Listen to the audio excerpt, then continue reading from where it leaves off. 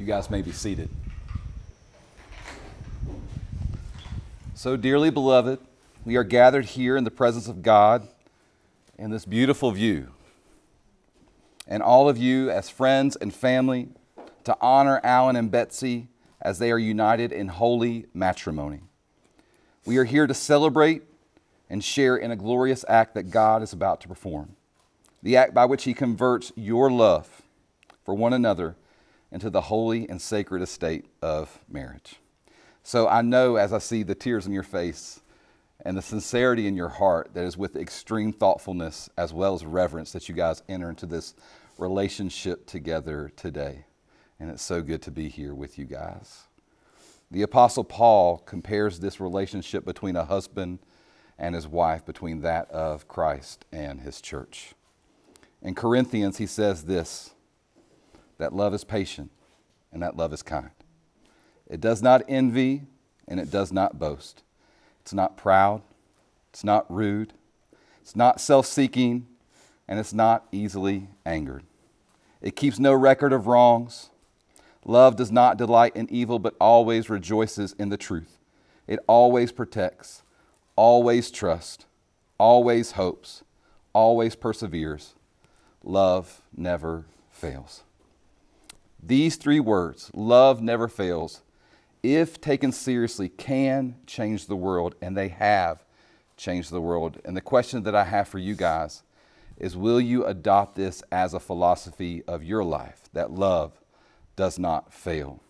Now, Allan, as a husband, you might, but probably will, fail often a lot.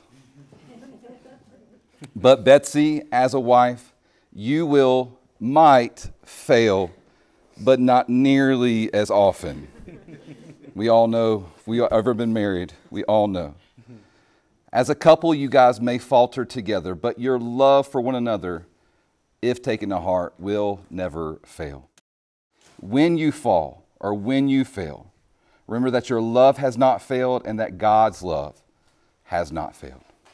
Today, are you are choosing to love one another through making the promises that are both holy as well as sacred.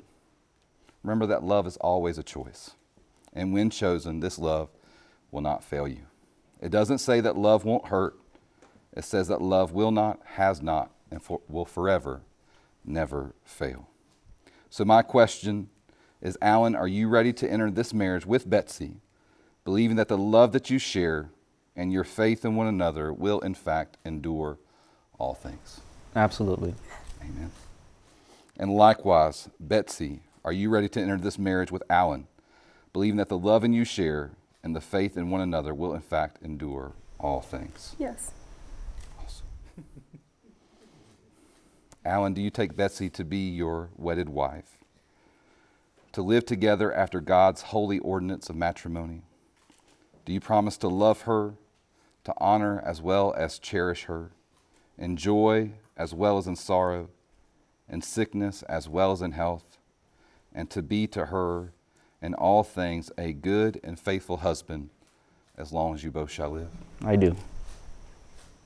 And likewise, Betsy, do you take Allan to be your wedded husband, to live together after God's holy ordinance of marriage?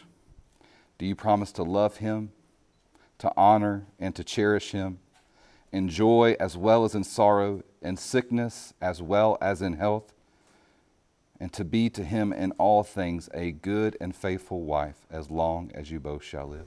I do.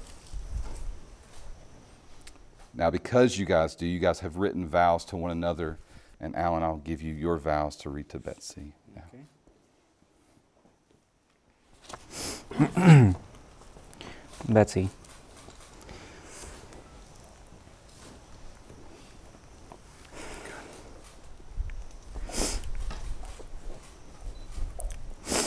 In a second. You can take all the time you got.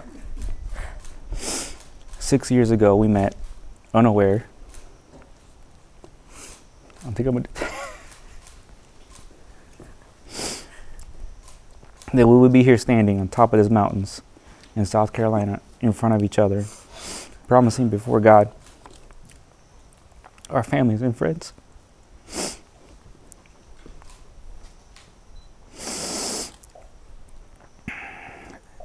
Sorry, my nose. to love, to love, to care, and to support each other for the rest of our lives. The more I got to know you, I knew there was something special. Honestly, at first I thought you were playing a trick on me. Because even in the smallest things and details, I found God's promises staring right back at me. You are my precious you are more precious to me than anything on this earth that I can I ever imagined.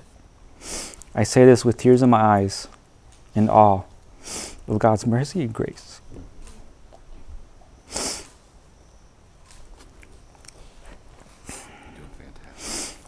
Honored and humbled that He would find me worthy to be your husband. Betsy, I promise, before family and friends,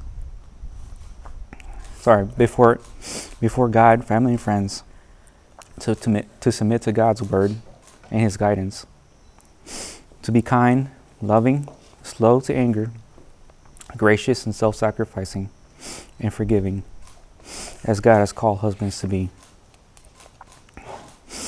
You have my word that in sickness or in health, in riches or poor, I will be, always be by your side. Our promise to put Jesus first and make him the center of our lives.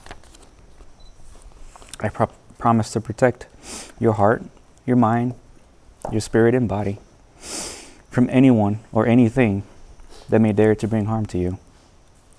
Lastly, I promise to lead us as the godly man that you've been praying for. And today, we become as one.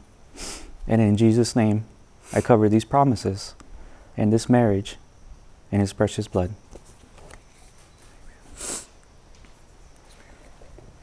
Betsy, here are your vows. Thank you. Allan, from the moment our paths crossed on Match.com, I knew there was something special about you. I still remember the first message you sent me and the long conversations we had thereafter. You were the first and only guy to ever ask for my email address instead of my phone number. I thought that was sweet and looked forward to each email you sent me. Now, six years later, I stand beside you, my soulmate. Not exchanging emails, but instead exchanging vows.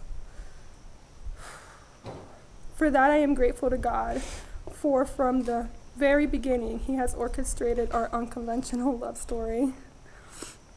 I feel so blessed that God gave me you, a man who is loyal, kind hearted, selfless, hardworking, and a great handyman who fixes things when I break them. You have stood by my side in the hard times.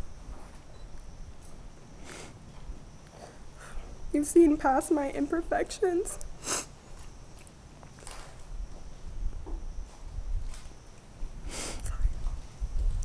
And always encouraged me to be the best version of myself. What I love most about you is that you not only love me, but that you also love God. As we continue this journey together, I vow to give you all of me and to always put God in the center of our relationship, our marriage. I vow to care for you as God has called me to, to love, honor, and serve you. When disagreements come, I promise to be quick to listen, slow to speak, and slow to anger. I promise to cherish you through all of our life's adventures. To share in your dreams and encourage you as you chase them. As we build our lives together, I promise not only to be your wife, but to be your best friend. I love you so much and cannot wait to share my life with you. It's Incredible, y'all. May I have the rings?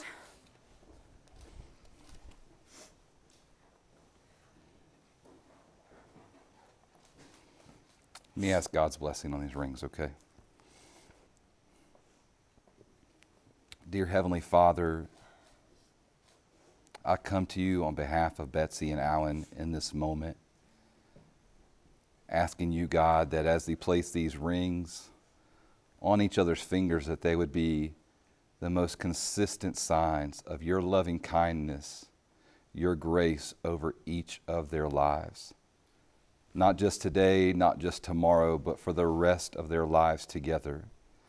I pray that these rings would be the symbolic gesture of the vows that they have just spoken over one another. Quite honestly, God, some of the most beautiful vows I've ever heard spoken in over two to three hundred weddings, God. I believe with every sincerity, God, that you are going to make this marriage be one that is going to be beautiful, but something that many kids and grandkids are going to build their lives off of. So I ask you not only to bless these rings, but ask you, Lord Jesus, to please bless their lives, bless their children, bless their grandchildren, their great grandchildren. Bless the legacies that they are about to start today in this moment. In Jesus' name I pray. Amen. Amen. So, this wedding ring, you guys have me cry. this wedding ring is an outward yet visible sign of an inward spiritual bond that unites two loyal hearts into this endless love. It is the seal of the vows that you guys just made before one another. And the giving and the receiving of these rings is literally the most important part of this marriage ceremony because the rings are made in a symbol of that which is eternal, no beginning and no ending. And so, as you place these symbols on each other's fingers, it signifies that there should be no end to your marriage and no end to the happiness that you guys will share, not just with each other, but with the world that you guys are creating. But I would also ask that you guys would let me please remind you that these are also special symbols that you'll wear before this world. Your family, your friends, you will notice when you leave this place the response that people see when they see this ring on each other's fingers. For when people look at you, they will notice your hand and look at the finger on that hand. And they will know that you belong to someone special, but that also someone special belongs to you. So every day for the rest of your lives, every time you wash your hands or reach out to touch the other, these rings will be there to remind you of the great love that you share and the wonder that the person that's standing in front of you right here, right now, loves you as much as you love them. So I don't have any doubt. I know that as you guys place these rings on each other's fingers, it will be done with thoughtfulness, reverence, and of course, love.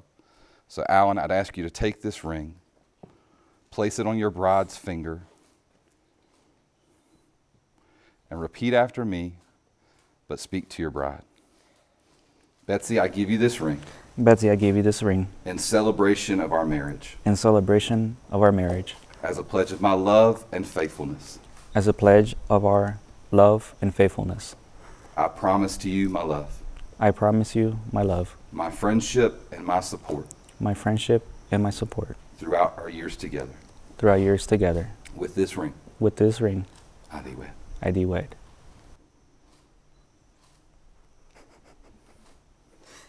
Let's go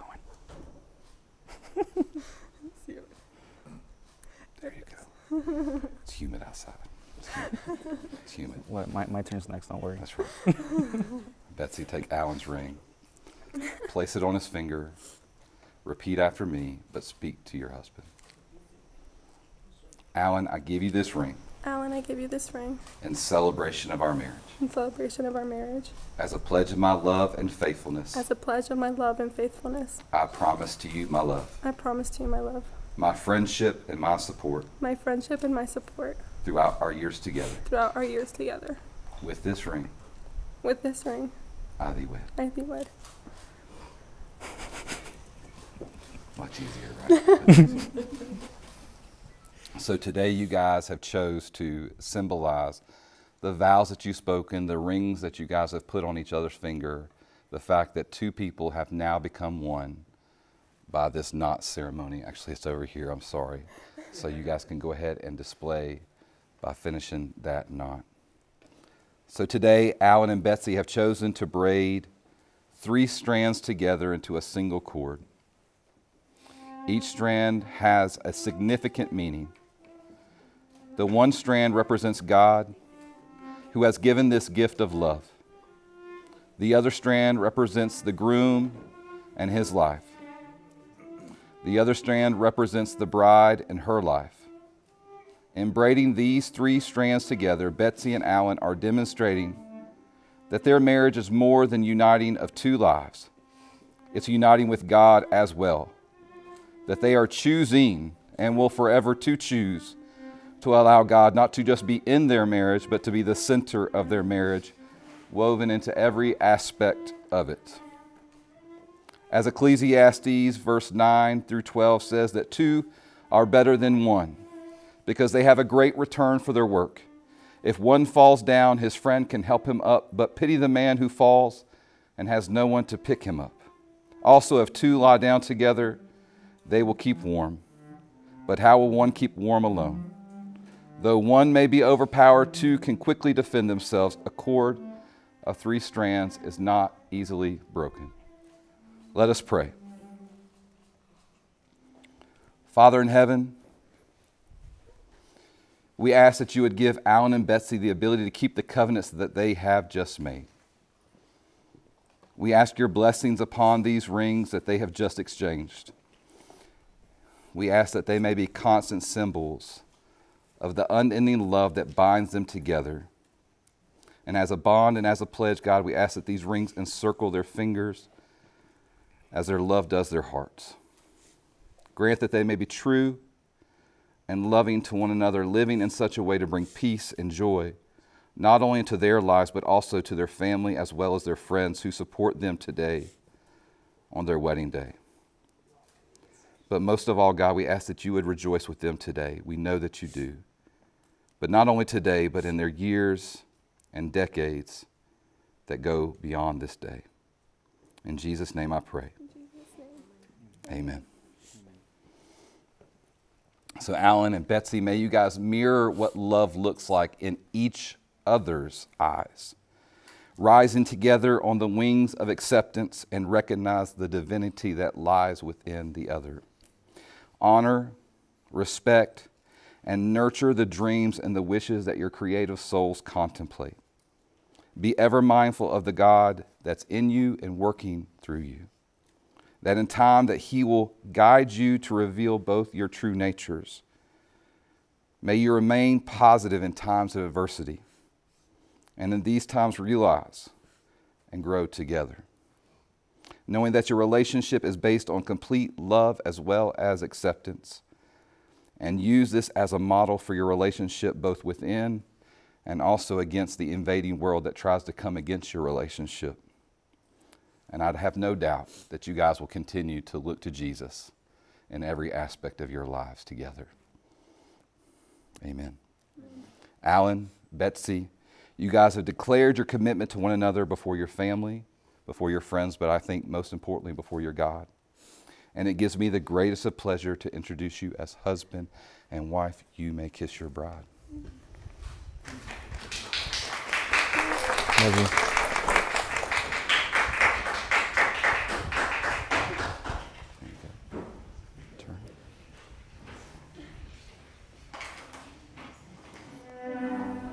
So, with the greatest of pleasure that I get to introduce to you guys for the very first time in public as husband and wife, Mr. and Mrs. Allan Solano.